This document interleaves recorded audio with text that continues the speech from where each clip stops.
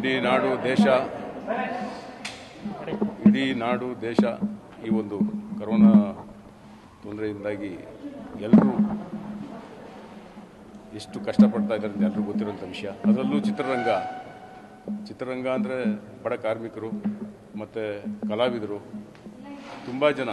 ಕೆಲಸ ಇಲ್ಲದೆ ಎಷ್ಟೋ ದಿನ ಆಗ್ಬಿಟ್ಟಿದೆ, ಎಷ್ಟೋ ತಿಂಗಳುಗಳಾಗಿದೆ ಶೂಟಿಂಗ್ಗಳೆಲ್ಲ ಸ್ಟಾರ್ಟ್ ಆಗಿ ಇನ್ನೆಷ್ಟು ತಿಂಗಳಾಗುತ್ತೋ ಗೊತ್ತಿಲ್ಲ. ಇಂಥ ಒಂದು ಸಂದರ್ಭದಲ್ಲಿ ಏನು ಮಾಡಬೇಕು ಅನ್ನೋ ಒಂದು ಯೋಚನೆ ಮಾಡ್ತಿದ್ದಾಗ ಸುಮಲತಾ ಅಂಬರೀಷ್ ಅವರು ಗೋಪಾಲಯ್ಯ ಅವ್ರನ್ನ ಈ ರೀತಿ ನಮ್ಮ ಕಲಾವಿದರು ತುಂಬಾ ತೊಂದರೆಯಲ್ಲಿದ್ದಾರೆ. ದಯವಿಟ್ಟು ಅವರಿಗೆ ಒಂದು ಈ ಥರ ಒಂದು ಅಕ್ಕಿ ಕೊಡೋದ್ರ ಮೂಲಕ ಸಹಾಯ ಮಾಡಿ ಅಂತ ಕೇಳಿದಾಗ ಮಾನ್ಯ ಮಂತ್ರಿಗಳಾದಂಥ ಶ್ರೀ ಗೋಪಾಲಯ್ಯನವರು ಒಂದೇ ಮಾತಲ್ಲಿ, ಅಯ್ಯೋ, ಅದಕ್ಕೇನಕ್ಕ ನಾನು ಕಳಿಸ್ಕೊಡ್ತೀನಿ. ಕಳಿಸ್ಕೊಡೋದು ನಾನೇ ಬಂದು ನಿಮಗೆ ಅಲ್ಲಿ ಈ ಒಂದು ಅಕ್ಕಿನ ತಂದು ಕೊಡಿಸ್ತೀನಿ ಅಂತ ಎರಡೇ ದಿನ, ಎರಡು ದಿನ ಮುಂಚೆ ಹೇಳಿದ್ದು. ಗೋಪಾಲಯ್ಯ ಅವರು ಇವತ್ತು ಬೆಳಿಗ್ಗೆ ಎಂಟುನೂರು ಮೂಟೆ ಅಕ್ಕಿನ ಕಲಾವಿದರಿಗೋಸ್ಕರ ಅವರೇ ಬಂದು ನಿಂತು ಪಾಪ ಇಲ್ಲಿ ಎಲ್ಲರೂ ಕೊಡ್ತಾ ಇದ್ದಾರೆ. ಒಂದು ಜನಪ್ರಿಯ ನಾಯಕ ಗೋಪಾಲಯ್ಯನವರು. ಆಮೇಲೆ ಅಷ್ಟೇ ಅಲ್ಲ, ಇವತ್ತಲ್ಲ ಅವರ ಒಂದು ಕ್ಷೇತ್ರದಲ್ಲಿ ರಾಜ್ಕುಮಾರ್ ಪ್ರತಿಷ್ಠಾನ ಆಗ್ಬೋದು ಪಾರ್ವತಮ್ಮ ಅವರ ಒಂದು ಪ್ರತಿಷ್ಠಾನ ಆಗ್ಬೋದು ಅಂಬರೀಷ್ ಅವರ ಪ್ರತಿಷ್ಠಾನ ಆಗ್ಬೋದು ಏನು ಹೇಳಿದ್ರು ಒಂದು ಫೋನ್ ಮಾಡಿದ್ರೆ ಸಾಕು. ಪಾಪ ಓಡ್ ಬಂದು ಇಮ್ಮಿಡಿಯೇಟಾಗಿ ಒಂದು ಚಿಕ್ಕ ಕೆಲಸ, ಒಂದು ಲೈಟಿಂದ ಹಿಡಿದು ನೀರಿಂದ ಹಿಡಿದು ಏನು ಬೇಕೋ ಎಲ್ಲ ವ್ಯವಸ್ಥೆ ಮಾಡಿ ನಿಂತು ಮಾಡುವಂಥ ಒಬ್ಬ ಜನಪ್ರಿಯ ನಾಯಕ ನಮ್ಮ ಗೋಪಾಲಯ್ಯನವರು. ಅದರಲ್ಲೂ ಹೆಮ್ಮೆಯಿಂದ ಹೇಳ್ಕೋಬೇಕಂದ್ರೆ ನನ್ನ ನಾನು ಅವ್ರ ಓಟರು ತುಂಬ ಸಂತೋಷ ಆಗುತ್ತೆ. ತುಂಬ ಧನ್ಯವಾದಗಳು. ಇಷ್ಟೆಲ್ಲ ನೀವು ಕಲಾವಿದ್ರ ಮೇಲೆ ಒಂದು ಪ್ರೀತಿ ವಿಶ್ವಾಸ ಇಟ್ಕೊಂಡಿದ್ದೀರಾ? ತುಂಬ ಸಂತೋಷ.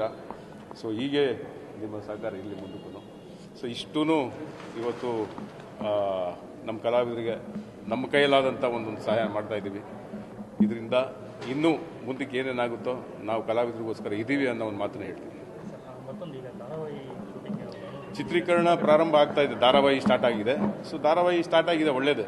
ಸೊ ಅದೊಂದು ಆದ ತಕ್ಷಣನೇ ಮುಂದಕ್ಕೆ ಏನೇನಾಗುತ್ತೋ ನೋಡಿಕೊಂಡು ಚಿತ್ರೀಕರಣ ಪ್ರಾರಂಭ ಆಗೋದಕ್ಕೆ, ಯಾಕಂದ್ರೆ ನಾವು ನಾನೊಬ್ಬ ನಿರ್ಮಾಪಕನಾಗಿ ಚಿತ್ರೀಕರಣ ಮಾಡಿ ಅಂತ ಹೇಳಿ ನಾನು ಮಾಡೋಕ್ಕೆ ಭಯ ಬೀಳ್ತೀನಿ ಈ ಸಂದರ್ಭದಲ್ಲಿ.